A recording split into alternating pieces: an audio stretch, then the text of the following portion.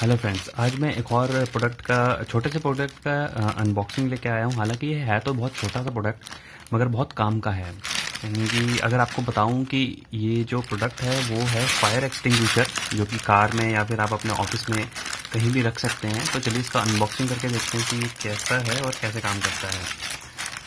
तो ये मैंने पैकेट को खोल दिया है और ये मैंने इसलिए मंगवाया था कि मैंने सोचा कि इस बहुत काम यूज़फुल है, क्योंकि अपनी गाड़ी में रखना चाहिए।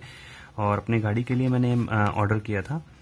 सो आप देख सकते हैं कि इसकी जो पैकिंग है, काफ़ी अच्छी करके भेजी गई है। आगे से कपड़े में लपेट के भेजा है ताकि, क्योंकि हीटअप ना हो तो इस वजह से।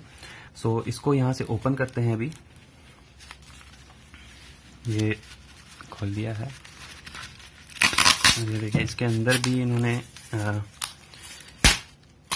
गत्ते को इसको साइड रख लेते हैं और इसको भी अब ओपन कर लेते हैं। आई थिंक ओपन भी करने की लोग यहाँ से अगर हम पुश करें तो नहीं हो रहा। तो चलिए ओपन ही कर लेते हैं और देखते हैं।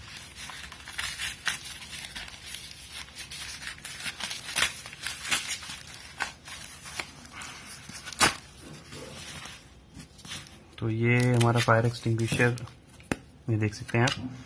इसके साथ इन्होंने यहाँ पे होल्डर भी दिया है कि आप अपनी गाड़ी या फिर कार सॉरी ऑफ़िस में या कहीं भी आप इसको लगा सकते हैं और इसको अपने पास रख सकते हैं।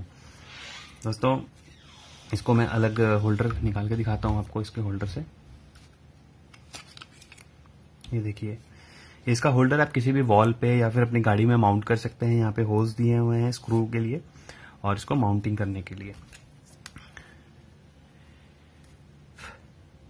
इसमें मैन्युफैक्चर डेट ये एक्सपायरी डेट लिखी हुई है। और, यहाँ पे लिखी हुई क्वांटिटी इसकी नेट 500 हंड्रेड है ये। और यहाँ पे कुछ आइकन्स बने हैं, जैसे कि आप देख सकते हैं, यहाँ पे टेंट है, या किसी टैंकर में, गाड़ी में, या शिप में, या फिर किसी पेड़ में आग लगती है। तो छोटे मोटे आग को बुझाने के लिए बहुत काम आ सकता है।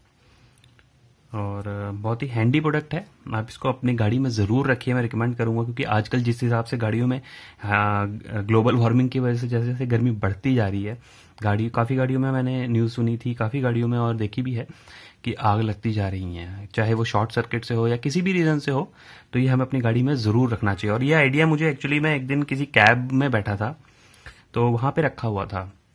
तो वहाँ से मुझे ये आइडिया मिला कि क्यों ना मैं अपनी गाड़ी में भी रख लूँ इसको, क्योंकि ये काफ़ी अच्छा प्रोडक्ट है। तो चलिए, इतना सा रिव्यू था दोस्तों। और इसको अगर हम चलाने की कोशिश करें तो ये इसका कैप उतर जाता है। ये उसकी सेफ्टी कैप है ताकि ये प्रेस ना हो। और यहाँ से अगर आप प्रेस करेंगे तो यहाँ से जो लिक्विड है, जो फोम है, वो निकलेगा इसको करेंगे। तो वो किसी और दिन टेस्ट करेंगे। अभी फ़िलहाल मैंने सिर्फ़ अनबॉक्सिंग की थी इसकी दिखाने के लिए ये प्रोडक्ट अगर ये प्रोडक्ट आप खरीदना चाहते हैं तो ये मैंने अमेजन से मंगाया है। तो नीचे डिस्क्रिप्शन में इसका लिंक मैं आपको प्रोवाइड कर दूँगा आप वहाँ से ऑर्डर कर सकते हैं। और उसका छोटा सा कमीशन अगर आप उस लिंक के थ्रू परचेज करते हैं उसका छोटा सा कमीशन मेरे को भी मिल जाएगा। सो so, अभी से एडवांस थैंक यू बोल देता हूँ अगर आप खरीद रहे हैं इस लिंक के थ्रू तो। दोस्तों अभी के लिए इतना ही। नया प्रोडक्ट लेके बहुत जल्द आऊँगा। Bye bye